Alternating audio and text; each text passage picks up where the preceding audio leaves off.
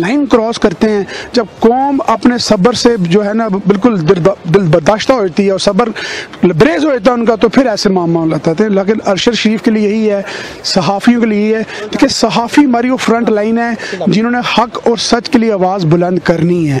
और उनका काम बहुत मुश्किल है, इसमें कोई शक नहीं है। आपको फाइनेंशली आपको फाइनेंशली आपको ऑफर्स दी जाती हैं, आपको थ्रेट किया जाता है। वो डायरेक्टली एक जंग के अंदर है। उनका जो मामला है, सहाफ़ियों का, वो बड़ा नाजुक मामला है। उन कौन होता है बिल्कुल सामने? बिल्कुल आप अपने आप ऐसे नहीं हो सकते कि सियासी तौर पे आप पीछे से वार करें।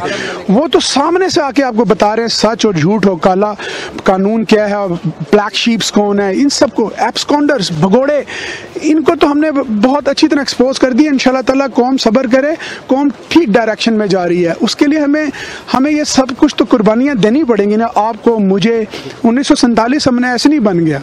ठीक है? और जो खबीस लोग हैं, उनको उल्टा लटकाएँ। उल्टा लटकाएँगे तो आप सही तरफ़ जाएँगे और कौन सही रास्ता आएगा। बहुत ज़रूरी है। और सबसे ज़्यादा स्ट्रॉन्ग जो हमारे मामला ठीक करना, जिसकी सबसे ज़्यादा ज़िम्मेदारी बनती है, सहाफ़ियों की और उसके बाद आपकी जुडिशरी की।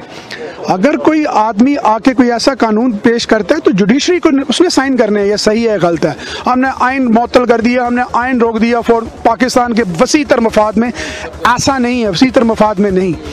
आप चलने दें लोगों को। ठीक है, अपने ज़ाती मफाद के लिए ऐसा खुशमक करें थैंक यू